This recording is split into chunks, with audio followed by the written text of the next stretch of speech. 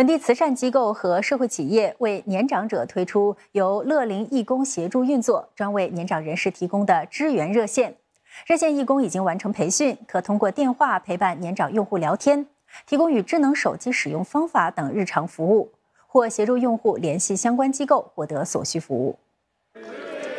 也是红帽桥集选区议员的李显龙总理在德意民众俱乐部为支援热线主持推介仪式。这项试点计划率先在红帽桥推出，目前已有三十名德意区乐龄义工加入，他们多数都能够掌握两种语言以及多达三种方言。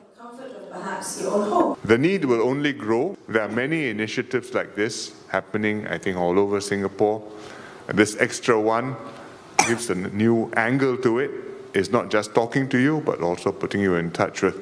so many other groups who can actually be of practical help to you. The agency 义工可以在家接听热线电话，并为年长求助者提供简洁易懂的步骤，解决智能手机订餐等问题。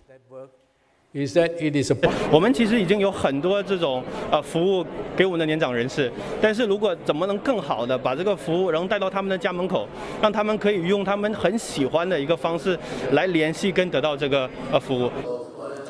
支援热线已经开通，当局有意在未来三年培训约一百名义工，并把服务扩展到其他地区。